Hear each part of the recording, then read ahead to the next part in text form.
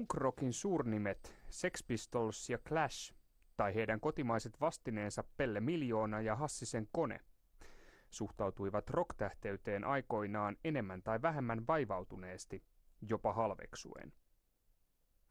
Idolipalvontaa pilkattiin punkpiireissä ja osa uuden aallon yleisöstäkin halveksi syvästi moista käyttäytymistä. Kirkuvien teinien ja pikkutyttöjen suosio miellettiin osoitukseksi kaupallisuudesta, laimeudesta ja epäaitoudesta, artistin musiikin vähemmän vakavasta sanomasta tai epäuskottavasta sisällöstä.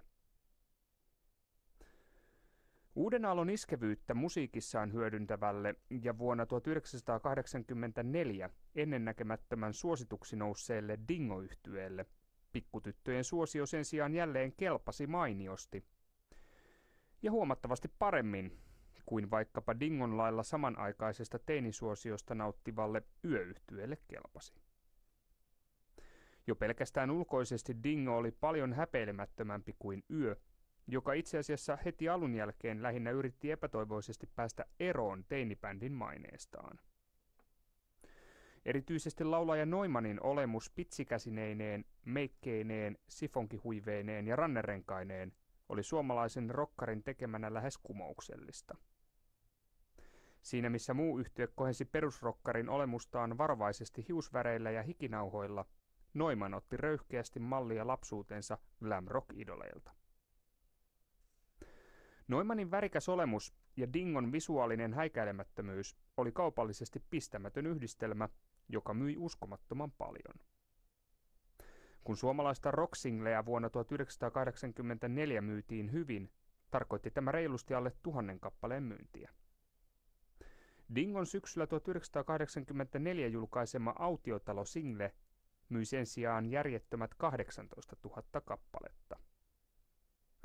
Myös keikkarintamalla vuosi 1984 oli Dingolle yhtä ylämäkeä. Kun ensimmäiset puoli vuotta Dingoa oli kaupattu tappiolla, kuittasi yhtiö jo seuraavana vuonna yhdestä ainoasta konsertista 130 000 markan palkkion. Ei ihme, että Dingon nokkamies ja pikkutyttöjen idolipalvonnan suurin kohde, Noiman, oli syksyllä 1984 Liisa Akimoffin nuortenohjelman haastattelussa iki onnellinen. Oletko nyt onnellinen? Olen, mä ei sitä voi kieltää. Totta kai jo onnellinen siis siinä mielessä, kun on päässyt siihen tilanteeseen, mitä on niin kuin periaatteessa lapsesta asti hautonut. Eli olla niin kuin kuitenkin rock-tähti. Onko elämä nyt helpompaa vai vaikeampaa, kun sanotaan puolitoista vuotta sitten? Mä sanoisin tämmöisen viisauden, että silloin kun elämä on tylsä ja yksinkertainen, niin silloin se on helppoa.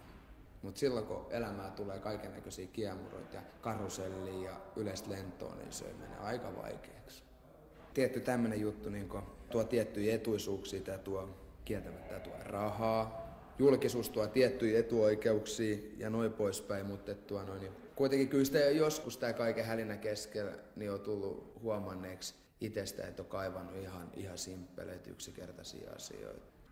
Mä muistan, mä meikkasin eka kerta itse, niin mä olin 12 vanha. Mä meikkasin, mä lähdin kadulla pokkana. Mä sain just silloin semmoisen hirvittävän T-Rex Krampin mä meikkasin itteni ja sitten sain jonkun silinterin näköisen lätsäpää, kun Mark Bolanolla kerran yhdessä julisteessa oli semmoinen lähde kadulla, mutta ei, ei, ei, ei siitä tullut mitään vittu, kun ihmiset nauro katsomuksessa. Toistaiseksi teidän bändi on aika paljon niin kuin leimattu teinibändiksi. Miksi? Mitä sä itse luulet? Mä oon huomannut niin tää Suomessa tapahtuvan niin sen, että siinä vaiheessa kun toimittajat näkee tyttöjä kirkuva lavareunalla, niin siinä vaiheessa tulee bändistä teinibändi ei se voi olla vakavasti otettava rockibändi, koska pikkuihmiset niin kirkkuu. Musta tuntuu, että näin pienemmillä ihmisillä niillä on varmasti paljon aidompi ja originellimpi tapa lähestyä musiikkia kuin vanhemmilla ihmisillä. Ei käsittääkseni David Bowieta tai mitä tämmöisiä vastaavia artisteja on leimattu teini-idoleiksi, vaikka pikkutytöt kirkuu niiden perässä. Mutta jos Suomessa tapahtuu tämä juttu, niin se on välitön teinibändi.